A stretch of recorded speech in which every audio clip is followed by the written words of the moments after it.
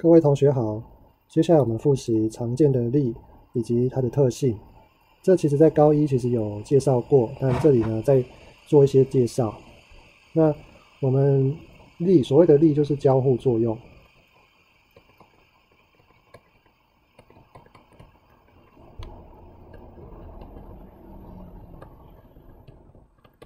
那这个交互作用有很多种的形式。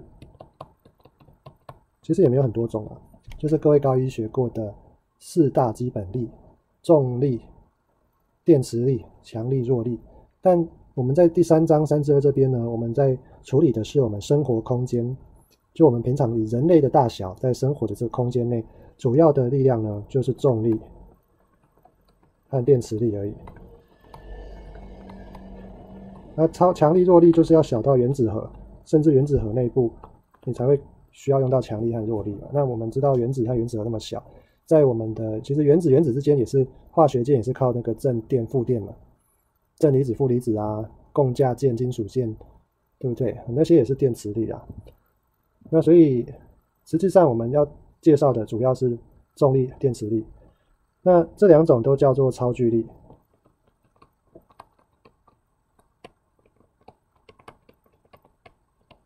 那重力呢？我们在上一则影片呢有介绍说，一个物体它的所受的重力呢，你可以视为好像就是作用在重心啊。对于均匀的物体而言，那就是作用在它的几何中心。因为均匀的物体，它的重心就会刚好是对称点嘛。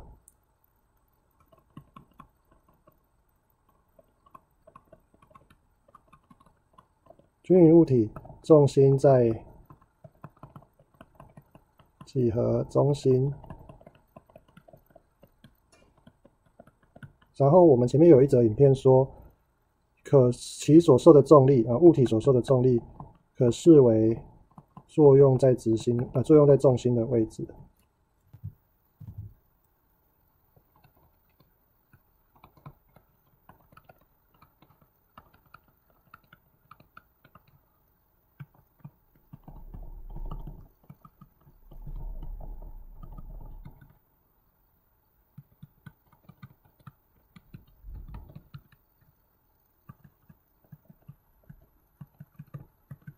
所以我们才会这样画，才会说画了一颗球以后，在它的球心这里画了一个 W，画了一个箭头向着地球，然后写 W，这就是它的重力这样子。因为它整体其实每一个地方都有受重力啊，但是呢，你可以把它视为视为就是作用在它的几何中心这样。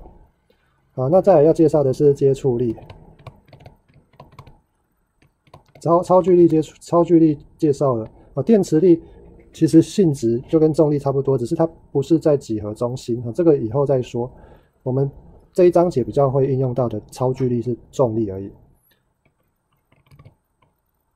好，接触力呢，微观上其实也是电磁力的啊。不过在我们的生活空间，所谓的巨观，我们就会给它一些新的名称。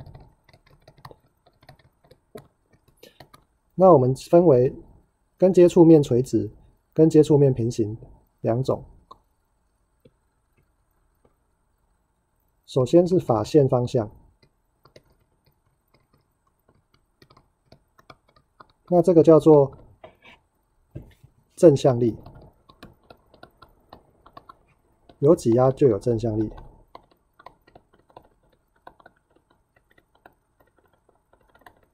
那没有挤压就没有正向力。那切线方向呢？就是摩擦力。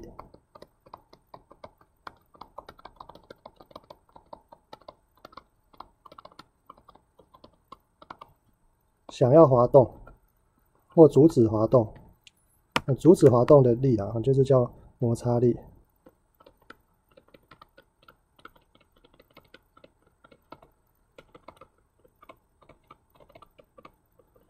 从图示上来说，就是。我们如果有一个表面，然后呢有一只手或是什么东西，一只手这样推过来，那手这个推斜斜的推这个表面的时候啊，嗯，假如说这有一个力量，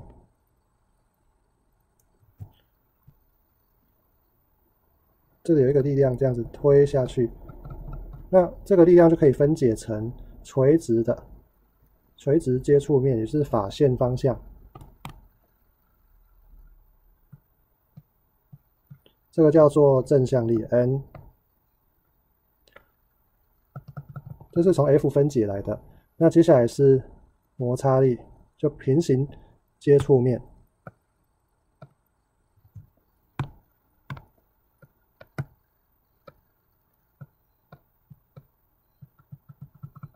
啊，这样子啊，这个就是摩擦力啊。不过我应该要把它画下来一点了。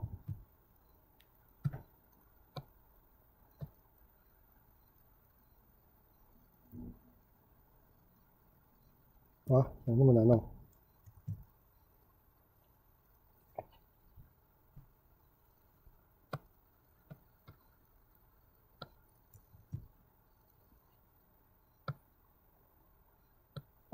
好，哎，刚好。啊，所以这个接触面与接触面平行的力叫摩擦力，这样子。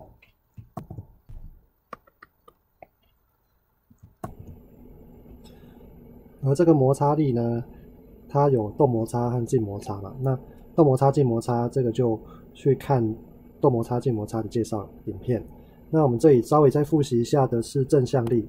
那正向力它不一定会等于重量哦。我们以前可能在高一的时候就会这样子举例，就说哦，有一个人哦，他如果是直接站在体重计上，那体重计跟他之间的挤压的力量，就的确是等于这个人的体重啊。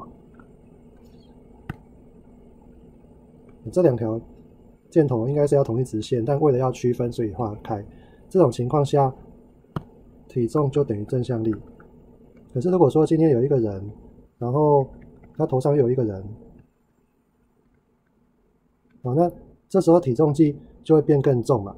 那这样子的情况，假如说这个人的体重是 W one，那上面这个人的体重 W two，那这样的话正向力。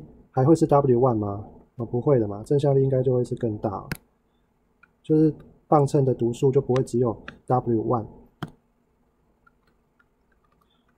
那反过来说，如果今天不是变重，而是变轻，就是说这个人呢，他在量体重的时候，有一只小鸟拉着他的头，然后小鸟要往上飞。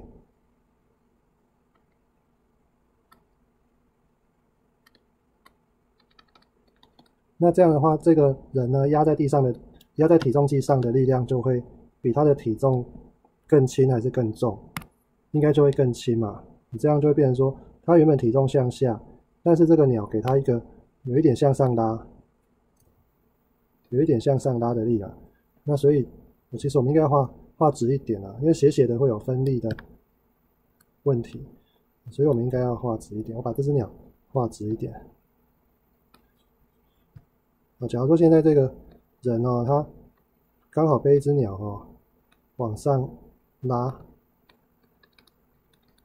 那这样的话，往上拉的力量越大，那这个人他的压在地上的力就越轻嘛。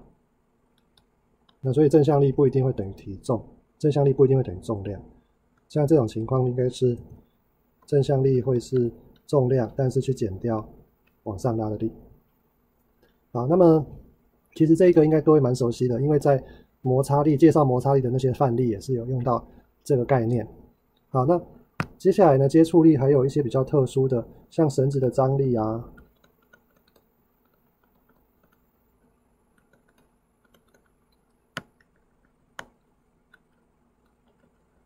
绳子的张力通常是用 T 来代号。那一条绳子它只会有拉力，不会有推力。这条绳子绷紧的时候呢，它对两边的物体一定是拉力的。比如说这个是一个人啊，然后他在拉这个绳子，啊，那这个绳子一定会给人一个向着绳子的力，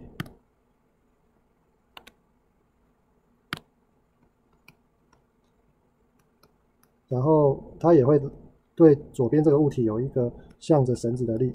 那这种向着绳子的力就叫绳张力，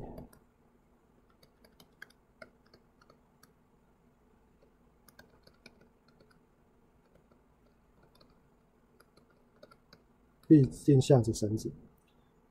好，那么大概就这样子啊，还有一点点的小细节哈，比如说什么绳子如果不是轻绳，而是有质量的绳子，那我们以后再说。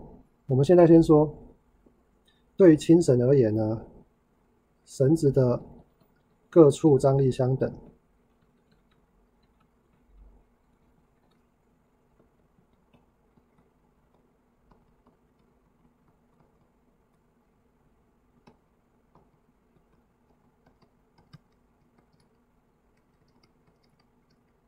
这里指的是大小。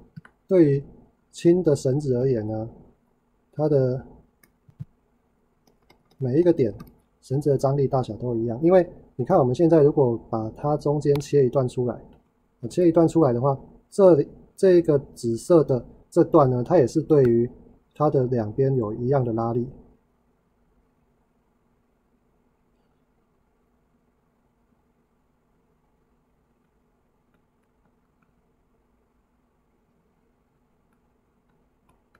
这样子说的更清楚一点呢，就是底下这张图，这个是绳子受到两边的拉力，因为绳子去拉两边，拉人拉物体，那物体也会拉绳子，人也会拉绳子，所以就会有绳子会有两边拉，两边都会拉绳子的力嘛，让绳子绷紧。那如果说我们今天中间这里切一半，切一半，那左半边这边的绳子它也是不动。那不动的话，就代表说有有合力为零。那所以左边这边的绳子，在这个切切一半的左边，它的受到的拉力也是 T 呀。然后切一半的右边受到的拉力也是 T 呀。所以这就可以证明说，其实对于轻的绳子而言呢，每一点受到的张力都一样啊。但是对于重的绳子就不一样了。如果今天所谓的重的绳子就是。它指的质量不可以忽略。所谓的轻绳，意思是质量绳子的质量可以忽略了。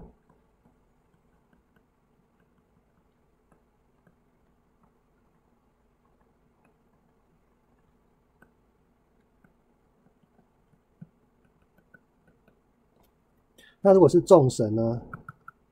好，我们还是顺便讲一下好了啊。重绳就是质量不可忽略的情况啊。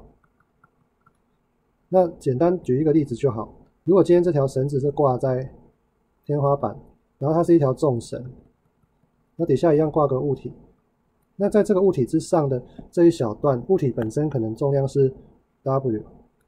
那在物体上面这一小段的绳子，它给物体的张力就是 W，这样才可以把物体撑住。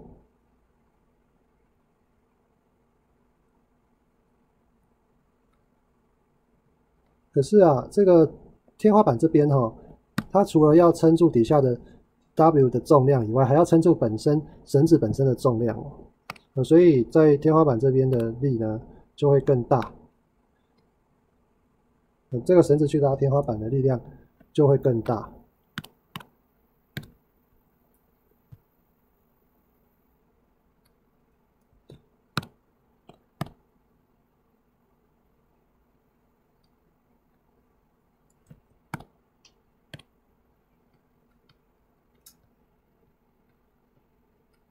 这个 W prime 就会大于 W，因为考虑到了绳子本身的重量。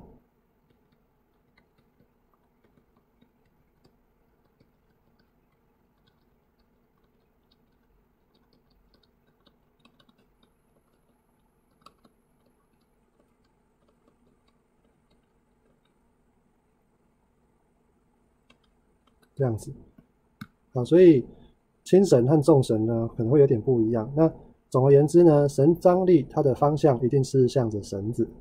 那最后最后是弹力，那弹力其实之前也稍微介绍过了，所以就不多做赘述。那弹力呢，它就是跟你的形变量成正比嘛。它的大小是 kx，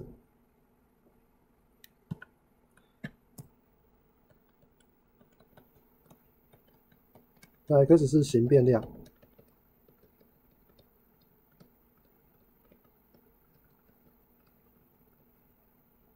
那它的方向呢是趋于回复，就是你拉它，它想要缩回去；你推它，它会想要弹回来。